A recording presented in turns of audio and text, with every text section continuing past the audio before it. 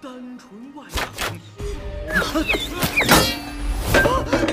今儿在下给您说的是，江湖上第一侠女叶希邂逅真命天子，成功嫁入皇宫的传奇爱情故事。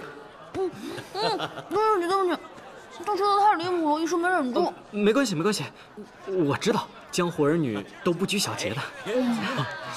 他前几天明明说的还是妖女夜袭的故事。呃，无巧不成书嘛。这世上同名的人多了。嗯。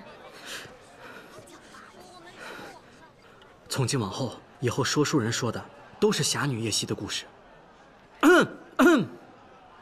咱们话说，江湖上第一侠女夜袭，那是出手不凡，武艺高强，天下无人能敌呀。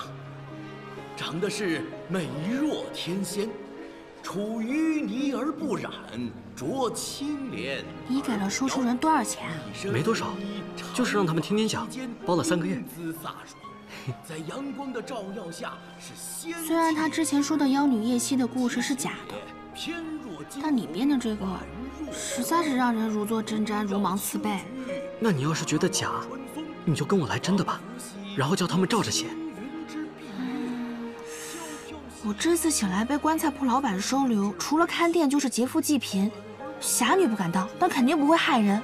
不过我失忆了，以前做过什么都想不起来了。但他们都说我是妖女叶希，就算是谣传，你也一点都不介意吗？我才不管别人说什么，你也不要管。都说了，听我的。在我心中，你就是我的侠女。云髻峨峨，修眉连娟单纯外来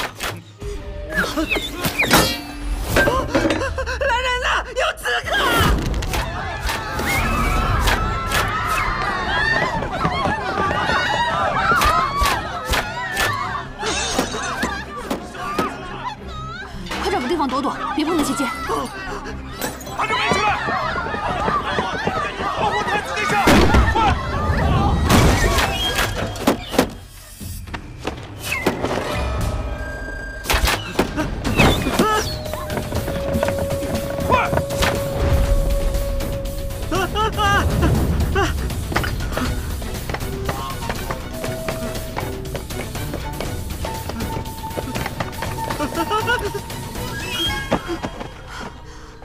剑。恐高，原来你恐啊！起来，起来，起来！是你飞得太高了，我从来没有人带我这样飞过。你这个时候是不是应该想想到底谁会刺杀你？哎，这件事儿回宫再说，京兆也会查的。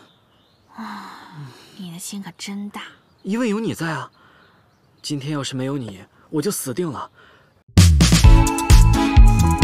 you